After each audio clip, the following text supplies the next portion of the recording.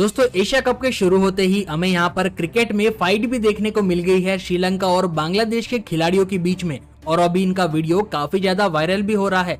ये घटना श्रीलंका की पारी के चौथे ओवर की है। ओवर की आखिरी गेंद डालने के बाद में बांग्लादेश के जो बॉलर थे, शोरीफुल इस्लाम और कुशल मैंडिस के बीच में यहाँ पर बहस हो गई। और झगड़ा इतना बढ़ गया कि खिलाड़ी और एम्पायर दोनों को बीच बचाव करने के लिए आना पड़ गया।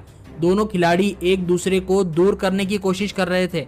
कहा यह जा रहा है कि मेंडिस को ऐसा लगा कि बॉलिंग के दौरान जो बॉलर है, शोरीफुल इस्लाम, उन्होंने उनसे कुछ कहा है। लेकिन शोरीफुल ने आखिरी गेंद डालने के बाद में विकेट कीपर से बात करी थी। लेकिन ऐसा लग रहा था कि जैसे वो बैट्समैन को ही कुछ गलत कह रहे हैं, इसी वजह से दोनों के बीच में झगड़ा हो जाता है और ये वीडियो काफ़ी ज़्यादा वायरल हो जाती है कि भाई, तूने मेरे को ऐसा बोला कैसे?